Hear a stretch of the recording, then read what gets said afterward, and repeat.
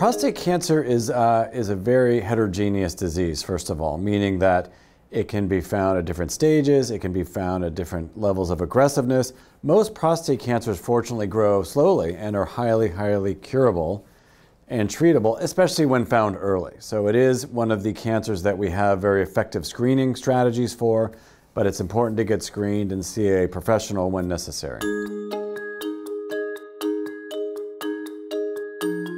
Typically, it starts with a blood test, something called the PSA. It stands for prostate specific antigen. It's a little protein made by the prostate, and it's easily detectable on a blood test. Now, that blood test is not perfect, but it is a sort of a quick and dirty test that may prompt further testing or imaging if needed, if it's found to be above what we would consider average for your age. Prostate cancer typically does not show up with symptoms. So most men presenting with urinary symptoms do not have prostate cancer.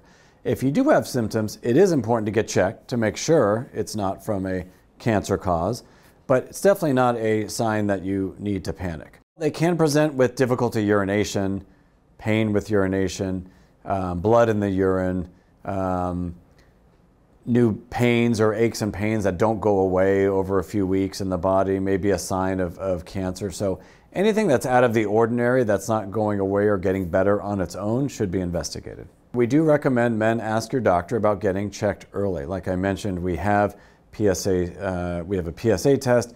We've got other tests that are available in imaging that can detect prostate cancer early when it's a very treatable stage if it needs to be treated. So it is important to talk to your doctor about those tests.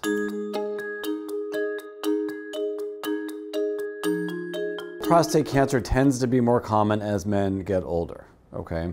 But we do want to find prostate early, and there are some familial or hereditary forms of prostate cancer that should be picked up much earlier. We generally do recommend men of average risk start getting the blood test around age 50 younger if you have other risk factors such as family history, certain races. We know that black men are at higher risk for prostate cancer and they should be checked earlier. So, although there are clear screening guidelines in terms of the value of finding prostate cancer early, you are at risk for it throughout your life.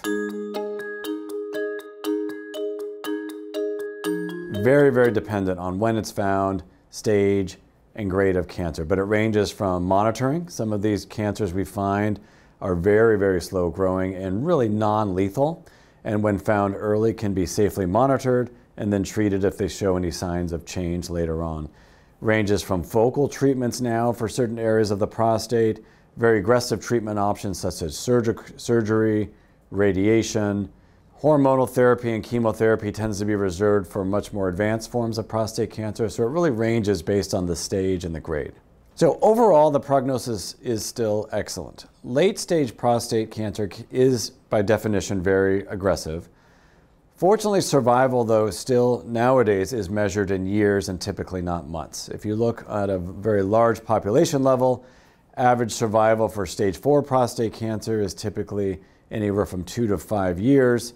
Um, just in the past decade, we've had a, a, a slew of new treatment options that is extending survival for men with stage 4 prostate cancer dramatically. So average life expectancy can be many, many years still.